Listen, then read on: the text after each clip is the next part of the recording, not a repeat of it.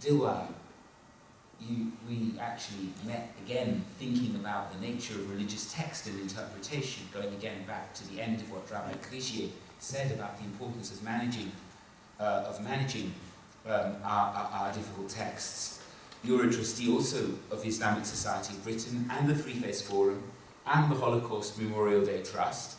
So it looks like you've had major events at the rate of two or three a day. Um, I appreciate you very much, very much your, your being here. Thank you very much, um, Rabbi Jonathan um, The appreciation and pleasure is actually mine and the honour of being here in the house of God, uh, in your in your welcome and in your company. Um, and I, I suppose the primary reason for me to come, um, I was in Coventry earlier on, and um, I felt when when Rabbi was discussing this with me and asking me to participate, I I really felt I had to come. And I think really to show solidarity at, at a time when I, I know that things are very difficult and very tense for Jewish communities across Europe, but, but here with our um, fellow citizens here in this country. Um, I thought it was interesting. I mean, I'm going to I'm to focus on the issue of empathy, but I, but just before that, just to touch upon what happened in Paris. Um, and, and by the way, I agreed with what Sughra said and, and what Jonathan has also said. So I'm not going to repeat what has already been, been mentioned. Um, it was interesting for me to see the slide from an act of murder and terror against what people saw, what they perceived to be um, an offence against their religion. The shootings in the office of the, uh, of, of, the, of the magazine. And then immediately, the day after, for that to be connected with an assault on a, on a supermarket owned by Jewish people. And this connection was the really worry. I mean, of course, the whole thing was worrying. Whole thing was worrying. But this connection was very worrying for me. And I think it speaks volumes of the state of anti-Semitism in our society, that you can associate blasphemy and terror and, and, and an insult to your religion with the Jewish community in France, in Paris. Um, that, was, that was really disturbing to me, and I think that speaks volumes about where we are with the state of anti-Semitism, discussions around that. But I also then saw hope. I saw hope in the employee of that supermarket who I think demonstrated a very different perspective, a very different position. May I just say that we tried to find him to bring him on the line here tonight, but we couldn't actually establish a link in time. But I, I, I saw that as two very different visions of how we can live together. And I think we have to bear in mind both those visions as we try to analyse and look at this problem. I wanted to say something about empathy because I think, and I'll come back to the issue of freedom and um, what happened in Paris at the end, because obviously we don't have too long. For me, the core of this, when I think about the broader connection between our communities, and I use the word communities in quotes, and I'll say why um, in, in the next point I'm going to go. I think really the issue is about empathy.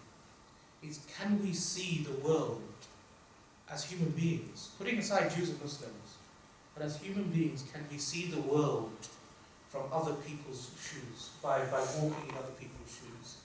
Can we see the world from other people's perspectives? And I think this is a real challenge for all of us. It's a real challenge for human beings. Human history shows that it's a challenge for human beings in a way that it should not be.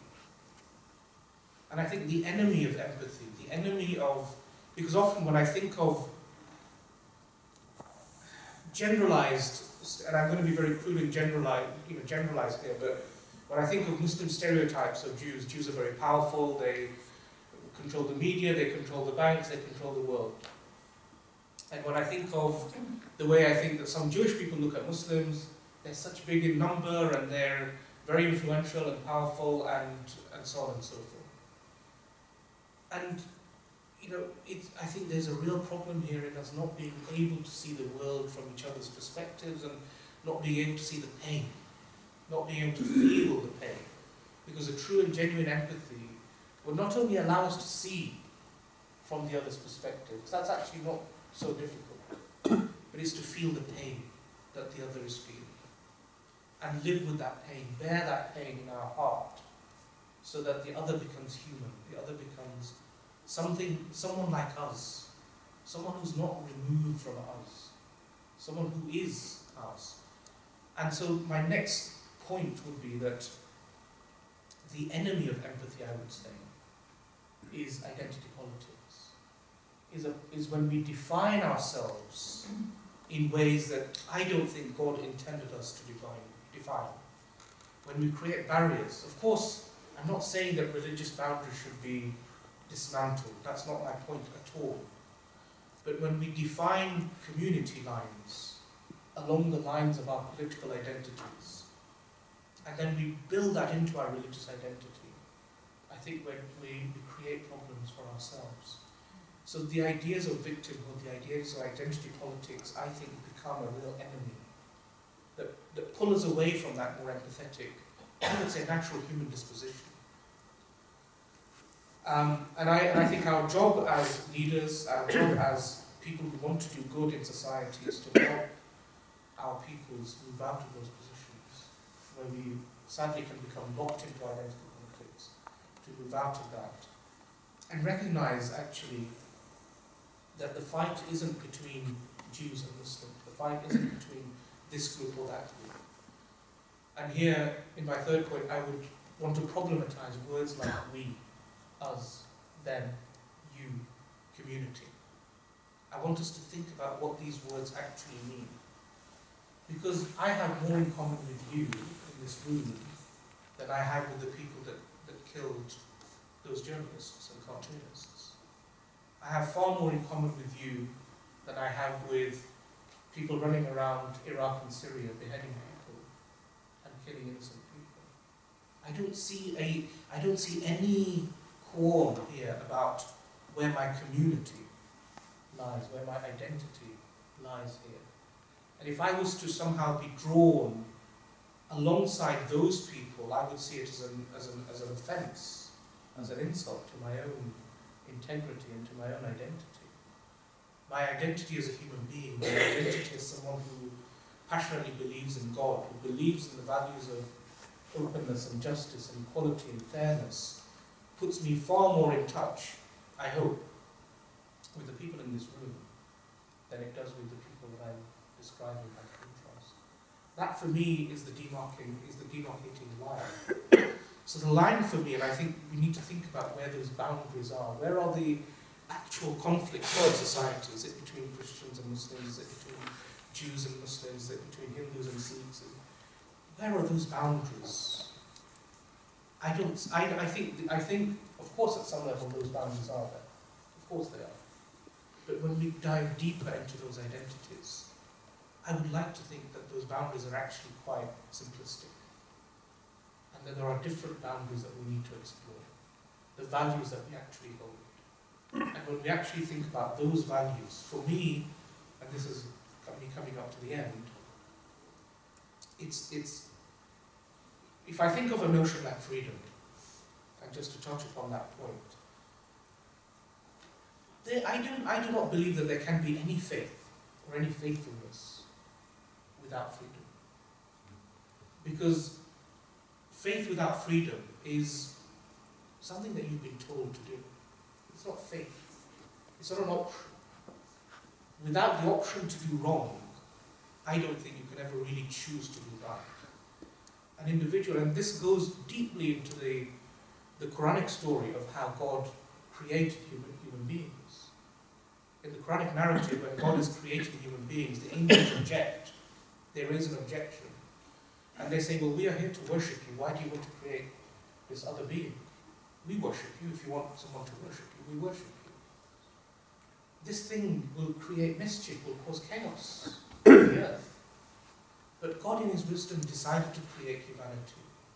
And He said to the angels, I know that which you do not know. Because the aspiration that God had for us was that actually, when we choose to do something and we choose to do good, we excel and we rise above the station of even the angels.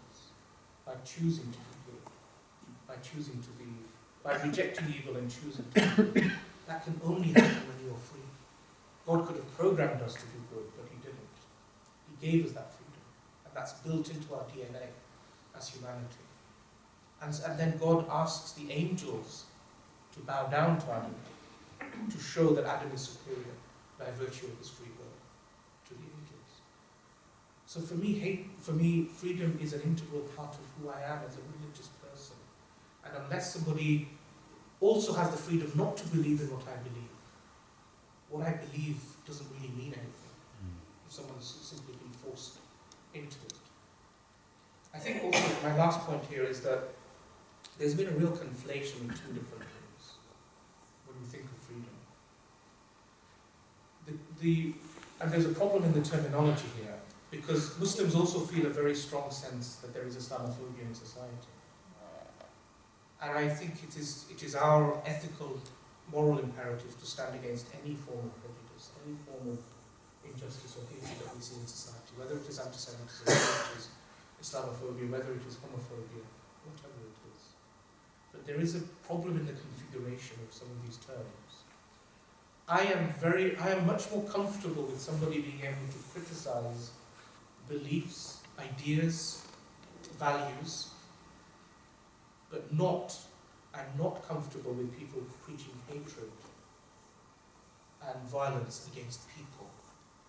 So there's a difference here. And we already, the law already recognizes this. The law allows for, we repealed our blasphemy laws a few years ago because they became redundant. We reached a place, a consensus in British culture, that religion, the mockery of religion, was fair game. It, it's, it's okay. Because religious people should be confident enough in what they believe to have that ridiculed and criticized and subject to criticism. But human beings, people who believe in those things, there should not be any hatred projected towards people. if people are subject to violence, hatred, then the law rightly should curtail freedom. Your freedom to criticize does not mean that you also have the right to preach hatred against me or somebody else. And that's why I think where the distinction between, you know, anti-Semitism is a, is a, is a hatred of the people. It's, it preaches violence against the people. I don't think anybody in this room would have problems with people criticizing Judaism, criticizing the beliefs and ideas. You probably do it more than anybody else. and, but, and I think we do have to differentiate between these points. So uh, we have to stop. Thank you very much.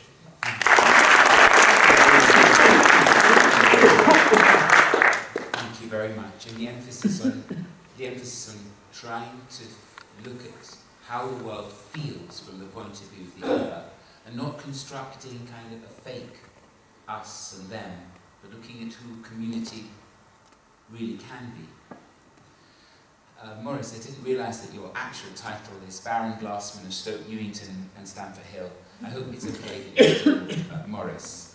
And really a professor of political philosophy in different places in Europe, very involved in London Citizens, director of the Faith and Citizenship Programme at London Metropolitan University, and then deeply connected with the Labour Party in the House of Lords. Very concerned with community, Jewish community and community beyond that. Glad to hear your thoughts. Okay. Thank you. Um, I share your view and Rabbi Jonathan. Just hold it near, just hold it near. Really? Okay. Um, asked me, I, I find it very difficult to refuse, but for those who are interested and will not be offended by this, the important news is that Spurs are one up. yeah. And I know here in Finchley that's a contested score. It's a club that Arsenal are not involved in. um, More also to say how great it is to be next to you, Dill. Well, we've known each other now a very long time, um, 10 years, and, and Dill are definitely among the among the angels. I've also visited the work in Leicester, you know, a very hard, um, hard line Islamist institution, and, and to see you in the way that you, you are and the way that you grow is just great. So it's, it's really good to, to see you again, and sorry for not returning So, um, yeah, I'll get, I'll, I will get back. Um, and then, and then for, us to say that it, you know, first of all, that Paris fell, and this all feels like it's not just an attack on Israel anymore, it's an attack on our life, on, on exilic life. That, you know, you go shopping for your shop, shopping and you get killed. Uh, doing your shopping, this, this, this is just terrible, and it's to acknowledge how, how terrible that feels, and how it could be that wrong about a lot of things. That's the anxiety that I have of know, we could live together in peace, the issues you raised earlier about like, uncontested things. Um, and it's true, what you say, that my experience would confirm what you say, that, that you know, there used to be real right-wing anti-Semitism, real fascist anti-Semitism. I go out in London every week with the, with the Blue Labour stuff, doing all night met in places like Nottingham and Leicester around that. I, I didn't get that much in fact, I hardly get anything at all from the NF or, or this, but there is, uh, and there certainly is, a default Islamic anti-Semitism going on. The Jews are rich, Jews are powerful, and then and then there's another source of anti-Semitism which you haven't mentioned, which is worth checking out, which is a double tragedy for me, which is that there is a real intensity of feeling on the left. That there is, a, and obviously, just imagine being me, You know, that's, this is what I confront, very weird and odd views of Jews and that related to Israel from exactly a tradition which could never, I mean this is the worst thing about leftists, is that they have no conception of sin. By, at least with religious people, they have somewhere along the line some notion that conceivably maybe they'll get to the day of reckoning and they might be found out. But secular leftists have no day of reckoning, right? We, they have a day of reckoning where they do it to other people, but it's never done to themselves. Now, obviously, that's a tragedy in itself because we know the fate of, of the left understanding, ha, you know, it, eh, these things happen. Um, but nonetheless, there is, and last week it was in Scotland, well, in Edinburgh, I know that's not your hometown, but I, I gave a talk to a, let's say, a progressive grouping and there was a really hard view on Israel of that, you know, that basically these, these killings in, in Paris were absolutely analogous to what Israel does every day, someone said to me. That this was not to be um, distinguished, the idea that you could have a military, you know, I said, well, what about the idea that there's two sides in that that are militarized and this was just the killing of civilians, you know, no, and then there's you know, one of the reasons the right is no longer quite as virulently anti is that there used to be, you know, the idea of the communist. Trotsky was the absolute emblem of the communist conspiracy, and Rothschild was the emblem of the international capitalist conspiracy, and obviously they all got together in Shaw and you know, worked out their differences to, to control the world, um, roughly speaking. Um, but but kind of communism isn't the kind of, uh, as, as you will realise when you mix with people on the left, is no longer quite the threat it used to be. So, so that's died for the, for the right. But for the left, the idea that America is controlled by the Israel lobby, by the Jewish interest, that therefore um, that the media is controlled um, in that way means that essentially um, attacking Israel and standing up to Jewish power is an act of emancipation and truth-telling. You know, that's it's an act of um, speaking the truth. So th these are these are great enemies to be living with in our midst.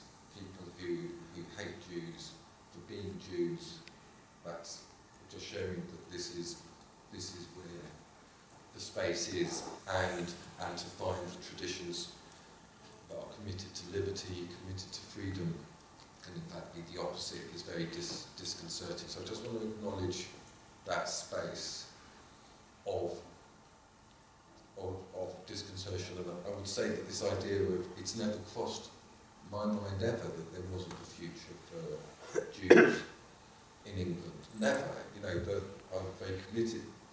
But you could see the possibilities, you know, a respect, left union, sort of Islamic you know, that that would be a very terrible thing. That would, that would lead to systematic persecution of Jews, and that's very, very scary. Just the random attacks and the way that people don't acknowledge the sheer intensity of that threat, and the way that that's contextualised in wider, you know, geopolitical discussions. I mean, where I entered into this was, remember East Ham Cemetery. This was the year 2000 in English history. There were hundreds of, of gravestones smashed up overnight, which was a local group, and I went to try two, two experiences just to share. I went to try to get the police to make some arrests to push the investigation. No one was arrested. And the, the chief superintendent of Waltham Forest, or police force, said to me, very complicated situation in the Middle East. So I just shared that. Oh, okay. And then I tried to get it raised by Union of Work, UQ.